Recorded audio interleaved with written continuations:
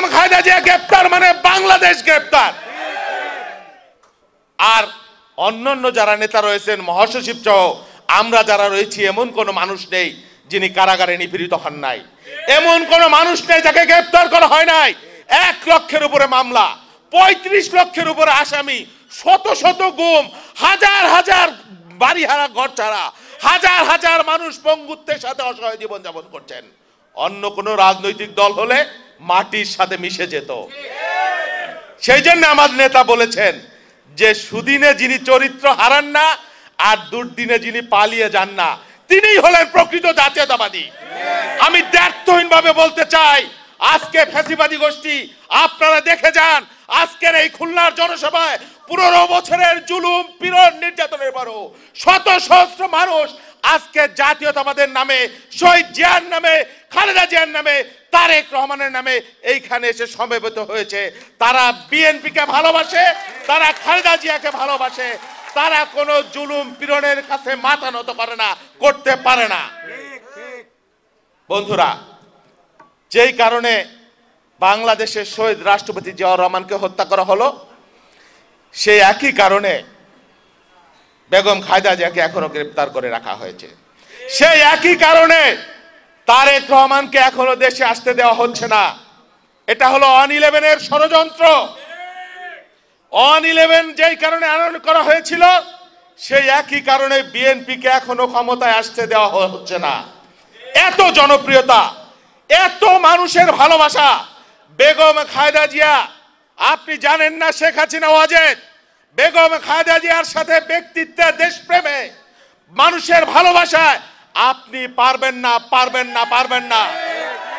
তিনি যদি মুক্তি পান, বাংলাদেশে যদি একটি সুষ্ঠু নির্বাচন হয়, বেগম খায়দা জিয়া বাংলাদেশের মানুষের ভালোবাসা, বিপুল ভালোবাসা ধারণ করতে পারবেন না। আর বেগম শেখ হাসিনা, আপনাকে মানুষ, বাংলাদেশের মানুষ, যুগ যুগ, শত বছর ঘৃণার সাথে বিশ্বাসঘাতকতার নাম হিসেবে আপনার নামকে মনে রাখবে। প্রিয় বন্ধুরা অন ইলেভেনের কথা বলছিলাম। বেগম খাজা জিয়াকে গ্রেপ্তার করার আগে তাকে বলা হলো, আপনি বিদেশে চলে যান। আপনার জন্য চার্টার বিমান প্রস্তুত রয়েছে, সৌদি আরবের রাজপ্রাসাদ আছে, সেখানে আপনি আপনার সন্তান সন্ততি নিয়ে সুখে শান্তিতে দিন আতিপাত করবেন। বেগম খায়দা জিয়া বললেন, কেন আমি আমার দেশ ছেড়ে বিদেশে যাব? তিনি বললেন, আপনাকে গ্রেপ্তার করা হবে। তিনি বললেন, আমি এগুলো পরোয়া করি না। বলা হলো, আপনার সন্তানদেরকে গ্রেপ্তার করা হবে। আমি এগুলো পরোয়া করি না। বলা হলো, আপনার সন্তানকে হত্যা করা হবে। তিনি বললেন, আমাকে এই ভয় দেখিয়ে কোনো লাভ নেই। আমার পূর্বপুরুষের কবর এই বাংলাদেশে, আমার স্বামীর কবর এই বাংলাদেশে আমি এদেশের মানুষের জন্য রাজনীতি করি, এই দেশপ্রেমের তাগিদ নিয়ে আমি রাজনীতি করি। আমার সন্তানদেরকে গ্রেপ্তার করো, হত্যা করো, আমাকে গ্রেপ্তার করো, যাই করো, আমি বাংলাদেশ ছেড়ে অন্য কোথাও যাব না। পৃথিবীর অন্য কোথাও আমার কোনো ঠিকানা নাই। আমি এই দেশে জন্মেছি, আমি এই দেশে মরবো, আমাকে কেউ এই দেশ থেকে বিচ্ছিন্ন করতে পারবে না। আমরা শুনেছি, তার সন্তানদের আত্মচিৎকার, নির্যাতনের চিৎকারও তাকে ফোনে শোনানো হয়েছে, কিন্তু তিনি আত্মসমর্পণ করেন নাই। বেগম খায়দা জিয়া ভেঙে যাওয়ার পাত্র, তিনি মস্কাবার পাত্র নান। সন্তানের মৃত্যু দশা জিম্মি দশার সাথে আপোষ করে না এমন কোন নারীকে আপনার ইতিহাসে জানা আছে? একজন মাত্র, তিনি খালেদা জিয়া। তিনি গর্ব করতে পারেন, এ কারণেই তার দল করি, এ কারণেই তাকে ভালোবাসি, এ কারণেই তাকে শ্রদ্ধা করি। যিনি সন্তানের জিম্মি দশার সাথে আপোষ করেন নাই, আর এখন নিজের মৃত্যু দশার উপর দ্বার প্রান্তে পৌঁছে গেছেন। আজকে যদি বেগম খালেদা আপোষ করেন, আগামীকাল তিনি মুক্তি পাবেন, বিদেশে চিকিৎসার জন্য যেতে পারবেন।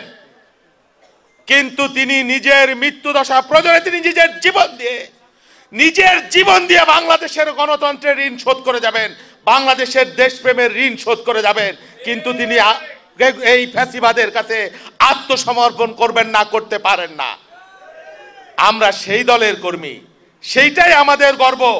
বেগম খায়দা জিয়ার উচ্চতা হিমালয়ের চাইতেও বেশি। এই উচ্চতার মানুষ বাংলাদেশে এখন আর নেই, আর আসবে কিনা আমরা জানি না। বন্ধুরা, বক্তব্য আর বেশি দীর্ঘায়িত করতে চাই না। শুধু বলব, দিনে দিনে বহু বাড়ি আছে দেনা, সুদিত হইবে ঋণ। আদিম হিংস্র মানবিকতার যদি মোরা কেউ হই স্বজন হারানো শ্মশানে তোদের চিতা মোরা জ্বালবই জাতীয়তাবাদী কৃষক দল এগিয়ে যাচ্ছে, এগিয়ে যাবে। আপনারা সাথে থাকেন, শুধুমাত্র হাসান, জাফির তুহিনার আমার পক্ষে জাতীয়তাবাদী কৃষক দলকে এগিয়ে নিয়ে যাওয়া সম্ভব নয়। আপনারা যদি আমাদের শক্তি যোগান, সাহস যোগান, আপনাদের, আমাদের কাজের সাথে যদি আপনারা ঐক্যবদ্ধ হন, তাহলে আমরা বিশ্বাস করি চলমান যে ফ্যাসিবাদ বিরোধী আন্দোলন, সেই আন্দোলনে বাংলাদেশের বৃহৎ কৃষক সমাজ আমার নেতা বলেছিলেন যে কৃষক বাঁচলে দেশ বাঁচবে।